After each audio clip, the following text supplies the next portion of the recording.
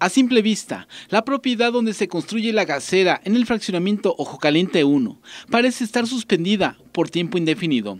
Y lo que ocurre es cierto, porque al no contar con permiso para terminar la obra, fue detenida por la Secretaría de Desarrollo Urbano del municipio y por lo tanto sigue sin concluirse.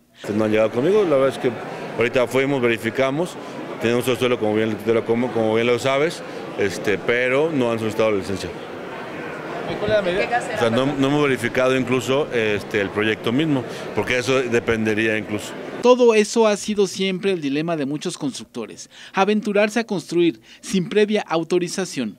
Ahora esos constructores tienen un problema serio, porque según la ley de desarrollo urbano, una estación de gas debe tener una cierta distancia prudente con las unidades habitacionales.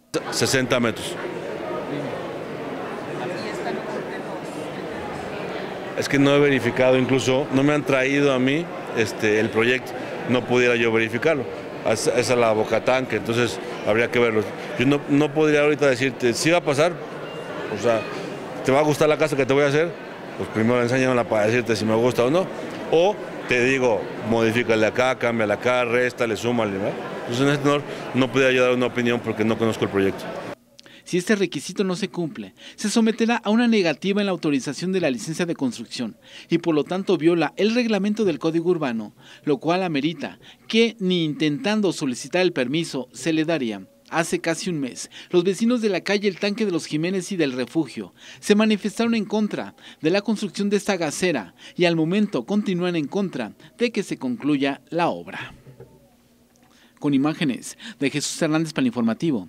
Jesús Peralta Medina.